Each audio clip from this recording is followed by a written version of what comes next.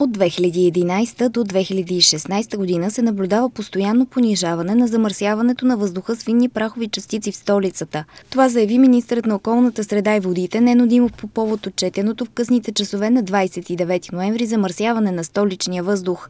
Най-тежък е бил смогът в района на хиподрума след полунощ и в квартал Младост в 21-22 часа на 29 ноември, когато допустимата норма на замърсяване е превишена над 7 пъти.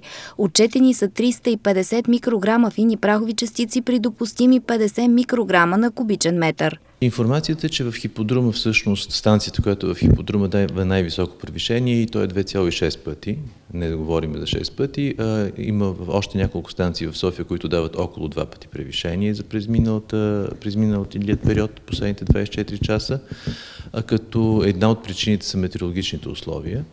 А относно мерките, които ме питате, всъщност знаете, че местната власт е основната, която трябва да взима мерки в рамките на градовете, но тези мерки не могат да бъдат взимани а, бързо. Те са дългосрочни мерки.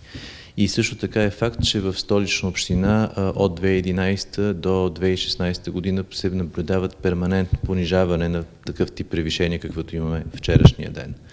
На практика този тип превишавания според законодателството, те са разрешени определен брой. Тук въпросът е колко ги превишаваме.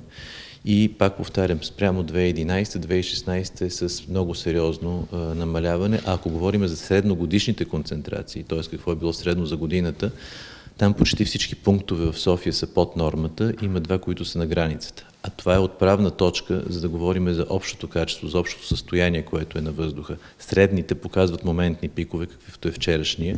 И пак казвам, те се влияят силно от метеорологичните условия.